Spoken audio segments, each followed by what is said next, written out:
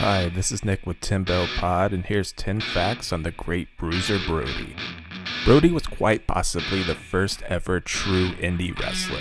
Obviously, back in the territory days, everyone bounced around the country, more or less doing their own thing, but Brody was truly DIY. He did have his home bases that he'd work out of, like an All Japan, a St. Louis, a WCCW, but he was never one to hang out in a promotion for too long or engage in like year long feuds over titles and such. Brody was more of an attraction that toured constantly, worked the promotions he wanted, developed his own character, and he never compromised for money or fame, yet still got both. Brody was an all state football and basketball player in high school, earning a football scholarship to Iowa State before he was kicked out for undisclosed reasons. He then went to Wayne State, which also didn't work out, so he landed at West Texas State. If you know anything about West Texas State, you know where I'm going, but if you don't, this is a super cool piece of trivia. The West Texas State football program, for some reason, is known for pumping out pro wrestlers. Not only did Brody go there, but so did Terry Funk, Dory Funk Jr., Stan Hansen, Ted DiBiase, Tito Santana, Tully Blanchard, Blackjack Mulligan, and Dusty Rhodes, and that's just some of the future wrestling legends they'd pump out. Not long after getting trained by Bob Roop and Fritz von Erich, Frank the Hammer Goodish tagged up with Stan Hansen in the Tri State territory, which would later become Mid South. And this is years before they do it in All Japan. Imagine facing that tag team in a real or worked match, which is kind of the same to them. The name Bruiser Brody was given to him by Vince McMahon Sr. The WWWF booked Bruiser Frank Brody in the mid 70s to be a monster heel for babyface champion Bruno Sammartino. His name would obviously end up being shortened to Bruiser Brody before Brody set out on his own very legendary singles career. Brody was the first person to take the Asian mist to the face from the first wrestler to do it, the Great Kabuki.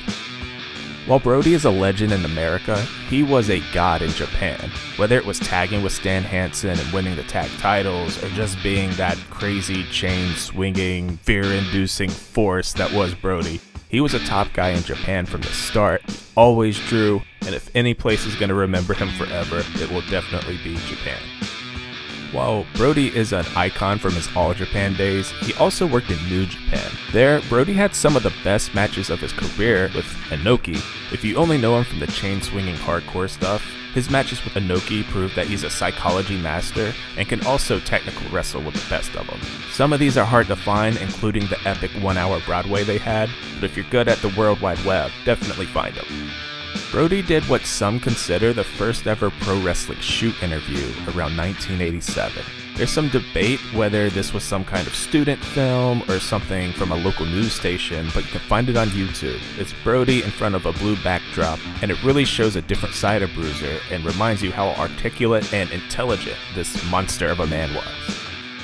January 21st, 87 in Florida, Brody had a match with Lex Luger where he gets mad and just stops working.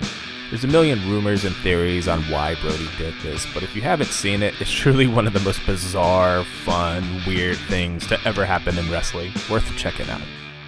Bruiser Brody was murdered in Puerto Rico in 1988 by WWC's Jose Gonzalez, and it was later covered up by Carlos Colon, WWC, as well as the Puerto Rico police and courts. They did everything they could to cover this up. They moved the court dates around so much that not only did key witnesses not know when the trial was, Brody's own wife didn't know when it was. They used pro wrestling angles and bloody pictures from magazines to trick the jury into thinking he was this legit bloodthirsty monster. They threw away the case files. Jose Gonzalez's bail for murder was posted at $12,000 and was paid right away so he never stepped into a jail cell.